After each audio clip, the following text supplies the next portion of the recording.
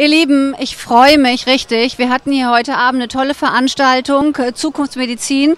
Und äh, neben mir habe ich hier Dr. Johannes Wimmer. Hallo Johannes. Hallo, grüß dich. Johannes, jetzt äh, bist du ja so ein bisschen so ein, so ein Fernsehstar schon, ne? als Mediziner. Ich meine, du warst schon in vielen Talkshows. Wie, wie bist du dazu gekommen, äh, so ein bisschen in die Medien reinzukommen als Arzt? Äh, das war eigentlich gar nicht das Hauptziel. Also mein Hauptziel war, ich habe Patienten versorgt und ich habe gemerkt, ich habe immer zu wenig Zeit, denen das zu erklären. Und da habe ich mir überlegt, ich muss doch irgendwie vielleicht was Tonband quasi haben, wo ich sage, ich erkläre da erstmal die Basics. Ja, das, was für jeden relevant ist. Ähm, du merkst, wenn du am Tag 80, 100, 180 Patienten siehst, in der Radiologie oder 80 in der Praxis, ähm, dass sich Medizin immer wiederholt, immer die gleichen Fragen gestellt werden. So habe ich die ersten Videos gedreht und die waren so schrecklich, dass ich mir dachte, ich muss das irgendwie lernen. Und so bin ich dann tatsächlich so ein bisschen ins Fernsehen gekommen, weil ich mich ab und zu mal beworben habe bei solchen Castings, mehr oder weniger. Und auf einmal war ich im Teleshopping ja, äh, und wurde da hart geschult und die Videos wurden deutlich besser. Und du von da, Slippery Slope, ging es die ganze Zeit weiter und jetzt eigene Fernsehsendung etc. ist wild, sehr wild.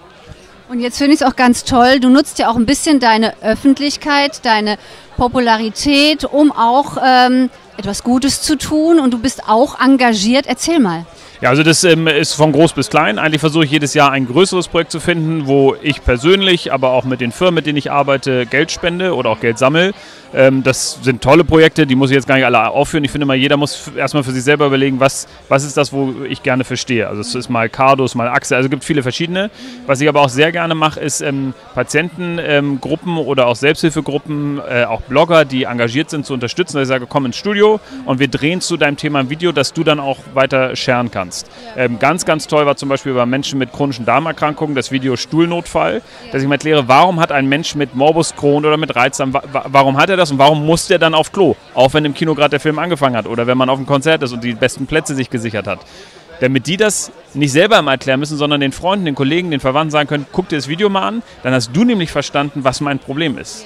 Und das hat sich irre gut verbreitet. Das war ganz, ganz toll. Und das gibt mir auch dieses schöne Gefühl, dass ich sage, Mensch, wir haben was Relevantes gemacht. Am Ende geht es darum, habe ich was Relevantes im Leben oder auch am Tag auf die Beine gestellt oder nicht. Das hast du. Danke, Johannes. Ja.